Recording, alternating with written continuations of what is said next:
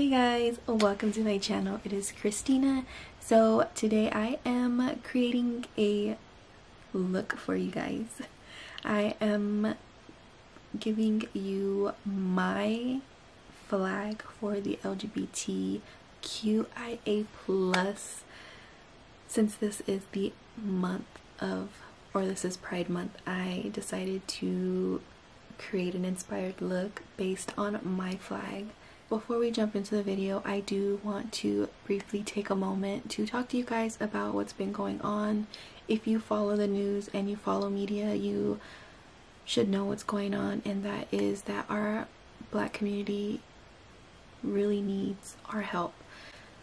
They are constantly having to fight for their lives because of either police brutality or having to deal with racism, colorism, and or social profiling and it's disgusting and enough is enough. I just really wanted to hop on and make sure I voice my opinion and gave you guys some information down below for you guys to go and sign petitions to donate if you can and overall let's educate ourselves to be the best allies we can be for our black community. And I am here to say that I stand with my black community.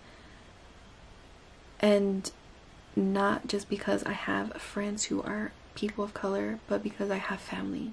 It breaks my heart to even think that people are so disgusting to a community of people because of the color of their skin. And it's I know being Hispanic, being Mexican, we have our own set of racism, but it's disgusting when it comes down to the fact that they are being murdered by people who took an oath to protect us and it's not right. So that's all I'm going to say for right now but I will say Black Lives Matter and I stand with you and I stand for you and beside you and I just want all of my black community whether you're my subscriber or you're just stopping by to check this video out I love you and I am here for you. With that being said it makes me it pushes me more to educate myself because as ashamed as I am to say this, I am not fully educated on exactly what they have to deal with on a day-to-day -day basis. I have heard stories, but it's never pushed me to the point to really educate myself and I blame the school systems as well because I feel like the school system only gives you a tiny tiny bit of a glimpse in their world in their world. And it's not enough. It's really not enough. So that is my biggest goal from here on out is to educate myself and not only myself but my children so that way we can continue to be the best allies we can for this community and for one another because together we are strong and no peace until we are all equal. So thank you guys for watching. I just wanted to dive in a little deep and kind of give you that. I will leave some links down below so definitely check out my description if you do check it out and there's nothing down there give me some time i am fairly new still to putting stuff down there but there's going to be stuff down there so you guys can go and sign petitions if you are not able to donate so yeah um i would just like to also mention that if I say anything wrong, please be kind. You know, I am being as honest as I possibly can. I don't want to offend anybody. I just want people to know that especially I want my black I want the black community to know that we stand with you. We do. Me and my family. And we're all in this together. I love you. Thank you guys for watching. And if you're ready to see this look that I created, then let's go ahead and jump to the video. Alright, now that I got my brows done and I've already set my eyes with the white cream, um, eyeshadow base by NYX. You guys know I use this especially whenever I am working with bright colors. That's why I look crazy, but it's okay. So the two palettes we're going to be testing out today is the Trending in Tokyo by BH Cosmetics. And this is what it looks like. Very colorful. And then we will be playing in Dia and no Noche by JCat. I don't know if I'm saying the name right, but this is what it looks like. It's another colorful palette. I get that they look somewhat similar, but in real life they got some differences.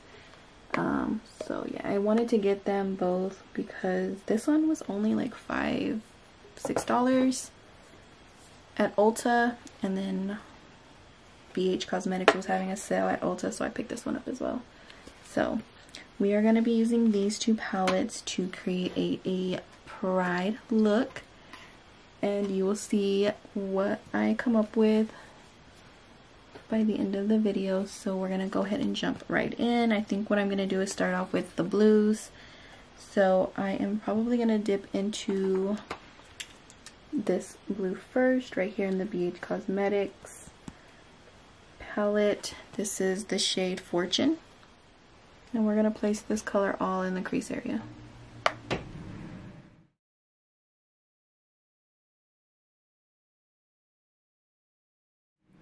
Alright, so now that we're here, I know it looks a bit harsh, but it's okay. We'll blend this out as we get closer to the end. So like I always say, just trust the process. It'll come all together in the end. So what I'm going to do is I'm going to go ahead and jump into the JCat palette. And I'm going to use a deeper blue because I do want to deepen up the blue a little bit. And I'm going to use this blue right here. This is in the shade High Risk. And I'm just going to place this all in the crease area as well.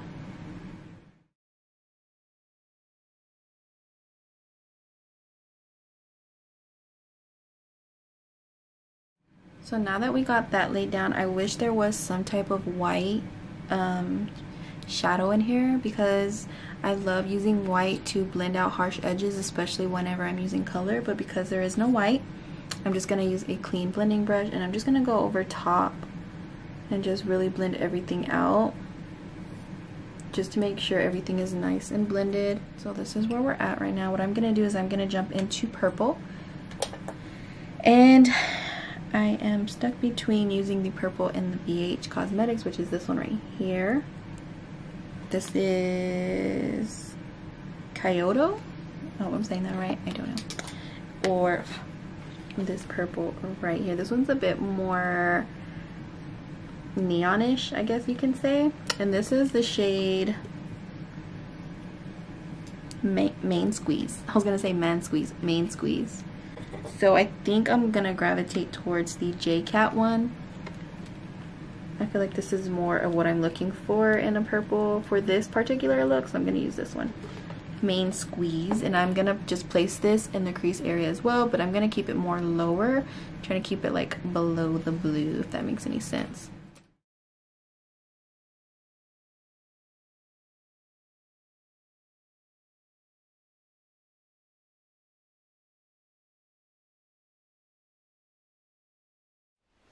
So I'm going to bring the blue a little bit more higher up close to my brow bone.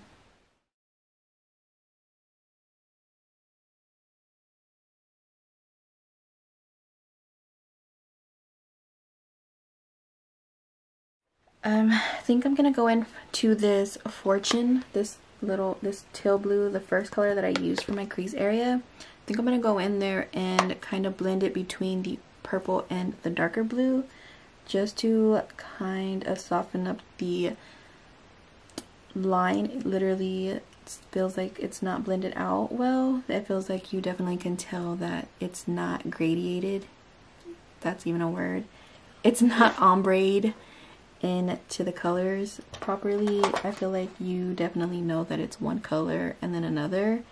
And I just want them to blend in.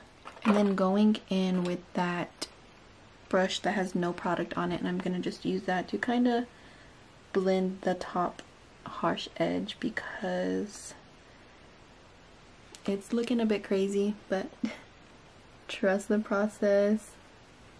We are hoping for good turnout. Alright, this is where we're at, and I'm to leave it alone for right now. I'm not to blend anything further until towards the very end, so you definitely can see the purple and the blue, and that's where I want it. So now we are going to put the pink on the lid, and I do have a pink here in the BH Cosmetic palette, which is this pink right here. This is the shade Anime and it's a shimmery pink. That's really what I'm looking for. And then I have a shimmery pink in the J Cat palette right here. And this one is Golden Hour, which doesn't make sense. I don't think that's the right. That can't be right. I actually really like the one at the J Cat. These are. This is J Cat. This is BH. So I think I want to do more of a lighter or a darker pink like this because the look is already dark and why not keep it dark, right? Okay, changing plans. I'm gonna actually go in with this pink right here. It's a matte pink in the J Cat palette and this one is the shade Psyched Up. And then I will top it off with the shimmery one in BH this one right here it looks more darker on camera but it's really not that dark and that is anime I'm gonna go ahead and use a flat brush to pack this on I was thinking about recutting my crease or adding more of the white base down but I don't think I want to do that because it's gonna just really make it more messy so I'm just gonna see how it'll do on its own without that base so this is where we're at. It looks very just pink and blue. I feel like you cannot see the purple at all. I feel like it's literally like a purple blue now and it just looks like pink and blue. So that's kind of upsetting. Or I don't know, maybe it's just because of the lights. But I think what I'm to do is try to fix the purple on this eye and then fix it on this eye off camera. So I will show you guys how I'm to fix it with this eye. I'm to dip back into the purple in the J Cat palette and that is the shade P and R which is this one right here. And I'm just going to go back over it.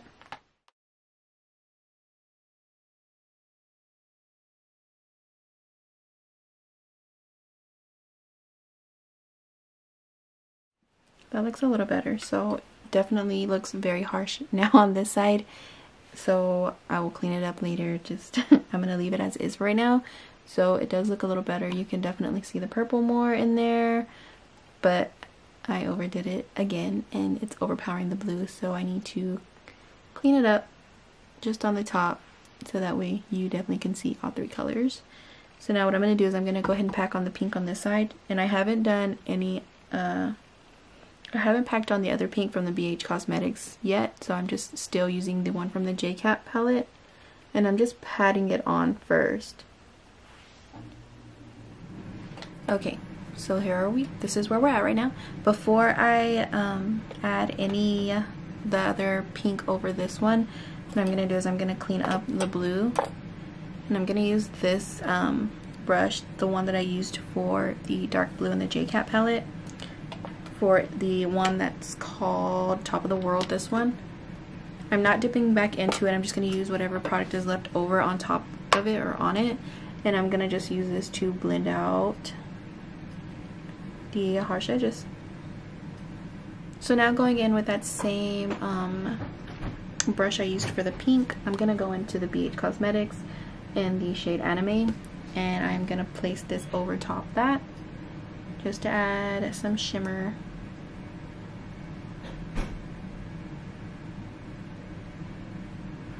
You really can't see much of the shimmer, but it's there.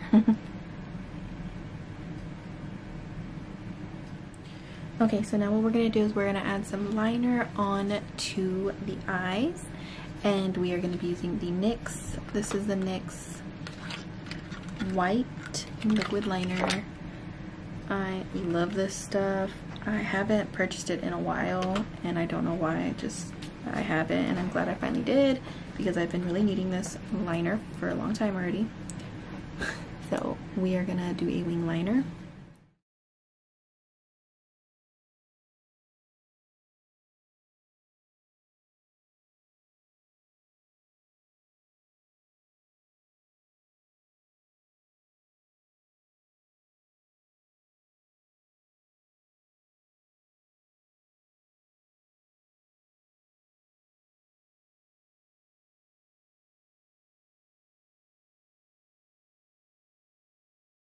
So this is how it looks right now. I feel like I might regret the fact that I did the pink liner, but since I had already did it on one eye, I just felt like I needed to follow through with the look.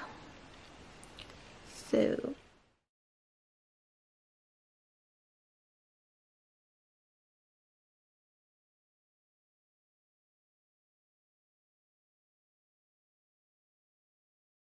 there i feel like that looks a little better. I did go over the pink that i laid down all over my lid. I ended up using the purple that i put in my crease area the one from the jcat and that is the shade p and r. I went ahead and used that purple right here to just place all over my lid and i feel like it's looking a little better.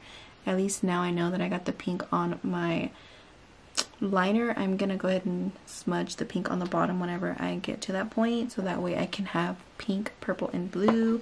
That's what I wanted in the first place so now it's looking a whole lot more better. Since I fixed it what I'm gonna do is I'm going to pop on some falsies and do my foundation and I will be right back with the final look